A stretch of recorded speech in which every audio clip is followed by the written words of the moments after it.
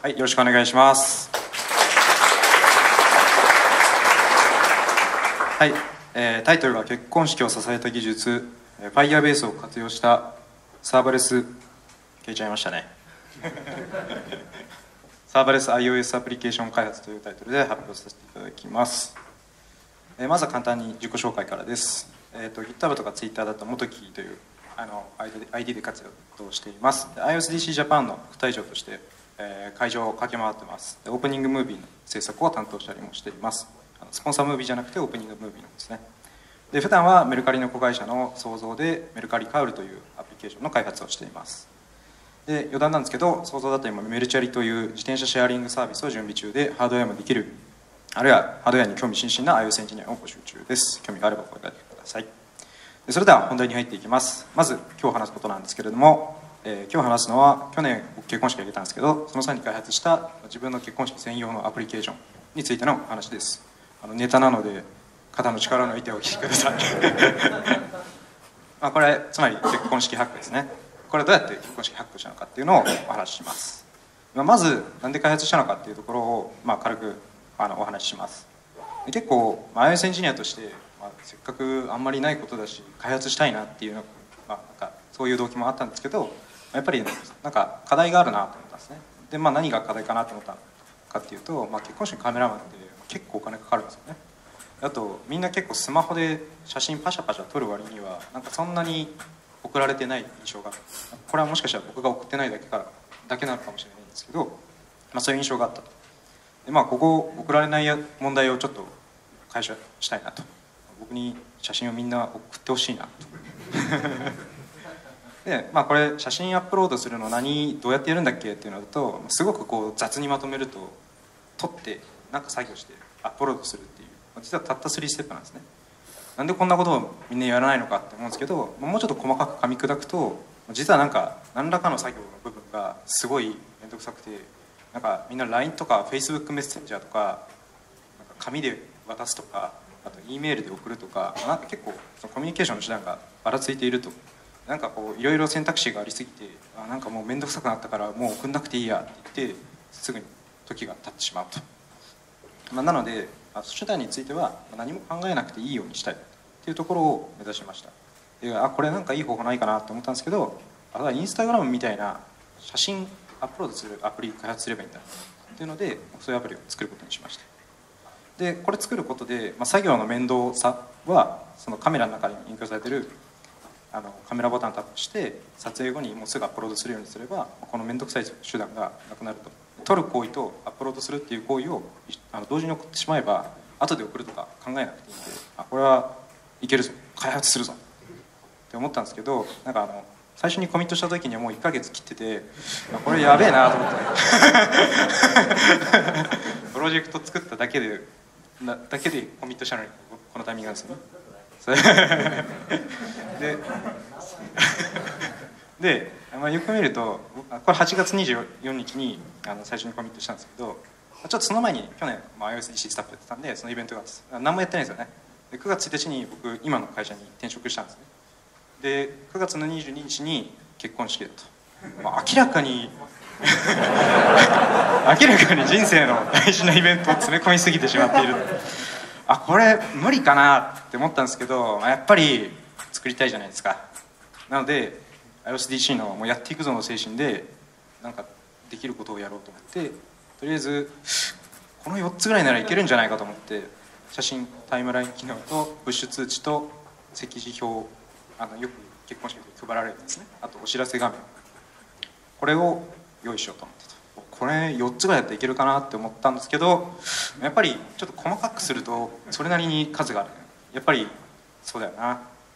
つもこうだよなって思いながら削ったつもりでもまあやっぱりたくさんあるんでやっぱ諦めようかなって思ったんですけどまあ諦めたくないんでもうちょっとブレイクダウンしようと。で、まあ、スケジュール、まあ、リリース日イコール結婚式っていう感じなんで、まあ、ただ当日に僕開発してるわけにはいかないんで2日ぐらい前には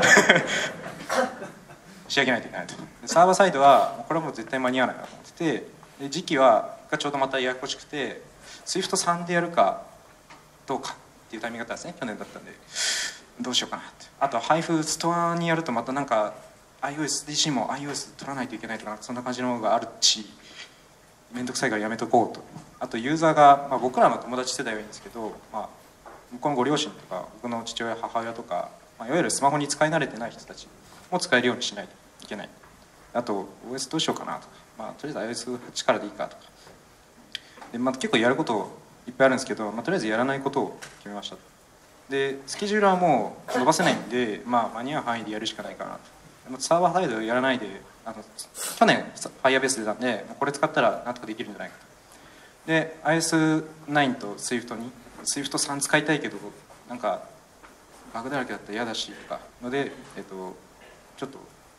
タイミング的に SWIFT2 を使いました。スタには出さないで全員にデプロイケットで配信するための努力をすると。インストール方法がわからない人例えばうちのトンとかオカンはわからない可能性が高いんで頑張ってケアをする。そんな感じでアプローチをしました。でここから実装についてお話をしていきますがあのサンプルコードいくつか出てくるんですけど SWIFT2 系で今更解説するのよと思われてしまうので一応 SWIFT3 で全部書き換えています。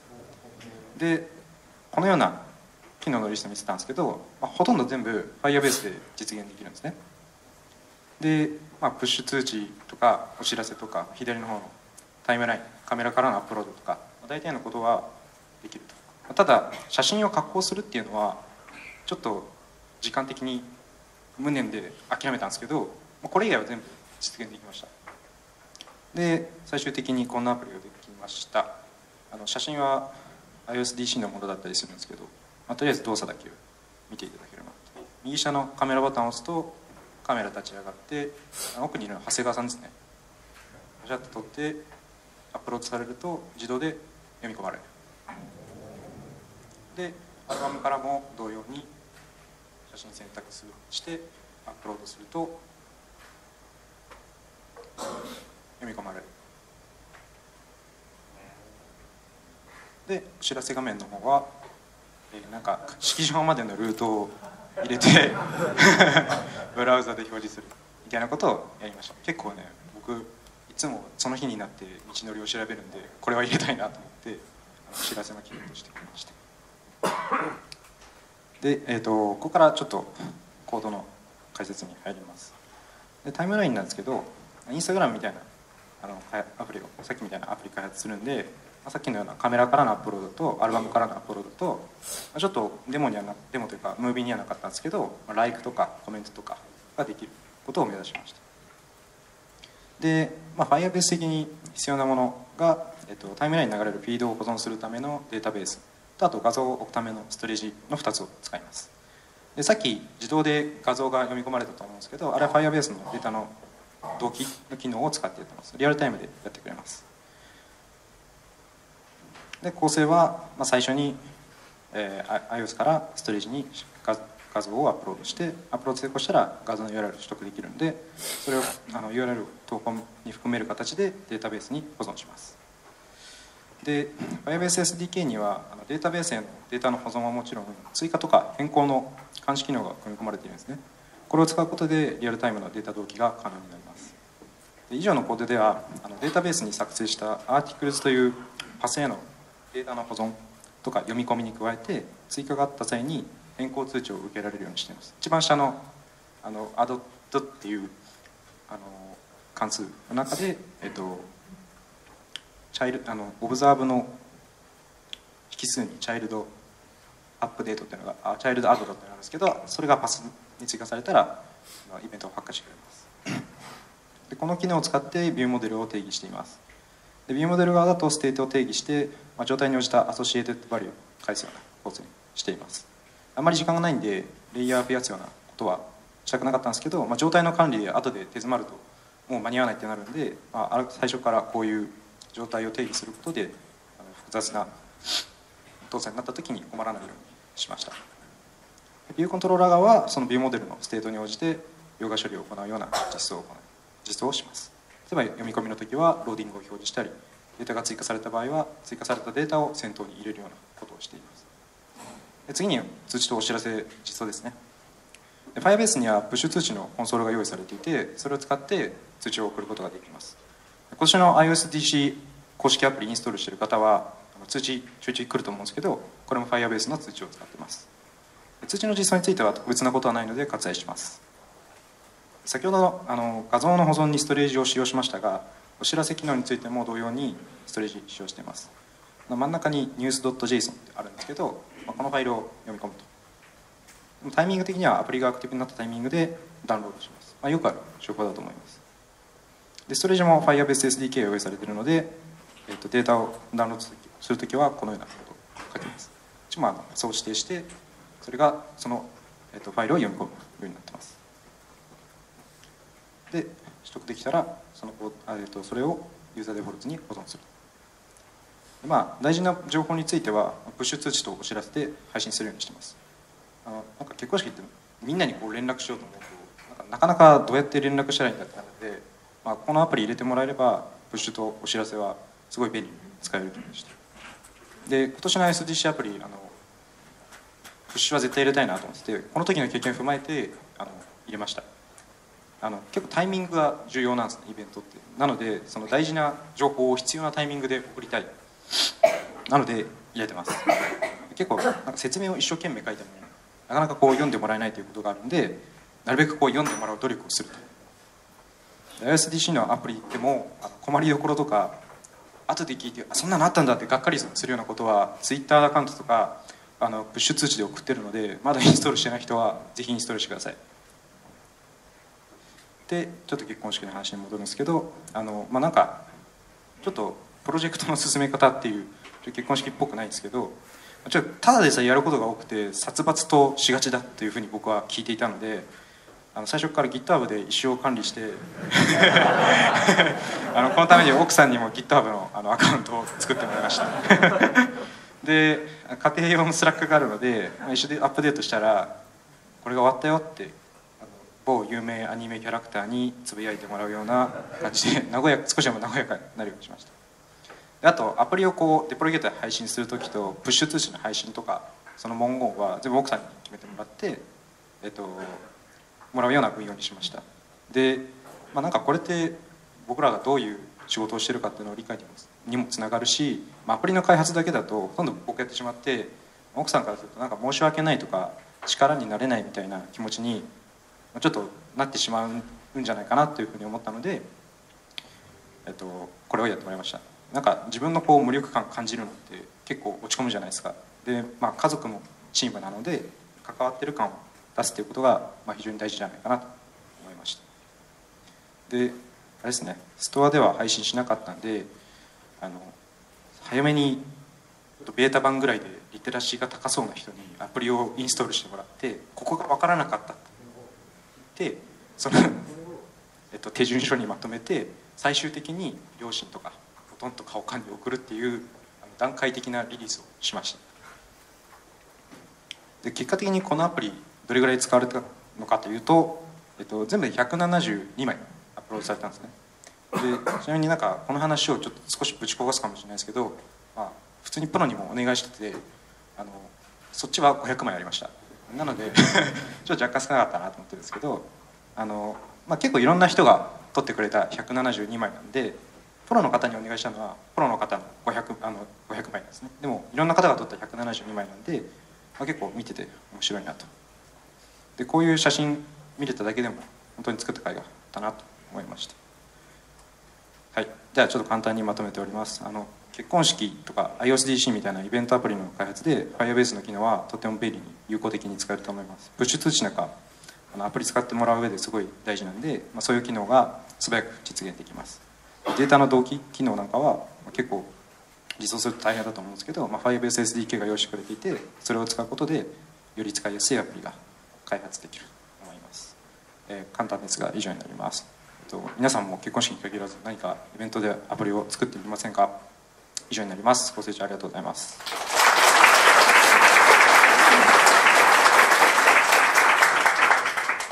それでは質疑応答に入りたいと思います。質問ある方いらっしゃいますか？えっと、ありがとうございます、えっと、質問なんですけど、えっと、配布するときにその、まあ、親族の方とか結構その分かんない方多いと思うんですけど、えっと、その際テストフライトではなくてデプロイゲートを選択された理由っていうのがあれば教えてください。テストフライトだと一回えっとなんだっけなちょっとごめんなさい。ななぜデプロイゲートにしたのかを正確には思い出せないんですけど、まあ、なんかあ多分アイコンが柔らかそうとか そういう違いだったと思います。ああとそうだ。インターナルテストだと、えっと、あんまり人数があの足りなかったんですね。当時は。今確か当時は20人ぐらいだったかな。でもそれ以上いたのでちょっとデプあのテストフライト扱いになるというので、えっと、デプロイゲートにしました。わかりました。ありがとうございます。えっと、ありがとうございます。えっと、データベース、Firebase のデータベースのところでお聞きしたいんですけど、えっと、Swift のこう型っぽい硬いオブジェクトと、えっと、JSON ベースのスキーマレスの DB で、えっと、普段 Firebase 使ってて辛いなと思うことが多いんですけど、例えば開発中にあるオブジェクトにこう別のプロパティを生やしたいみたいな時ってそれまでの既存のこう DB に入ってる方のデータってマイグレートされないと思うんですけどそういう時ってこう、まあ、もしその開発された時にそういうシーンがあったらどういうふうに対応したかを教えていただきたいです。そうですね。実はなんかあんまりその Firebase をそうこういう本来のデータベース的な要素で用途で使わない方がいいんじゃないかなっていうのが僕の印象なのであの多分そういうシーンが来そうだったら Firebase のデータベースは使わないと思います。すいません。わかりました。ありがとうございますえー今回作ったアプリは iOS だけですか？はいいい質問だと思います。あアン Android の出席者の方のケアってどんな感じに諦めました。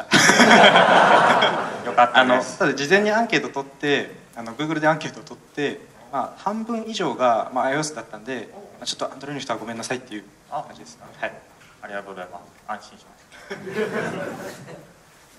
それでは成田さんありがとうございました。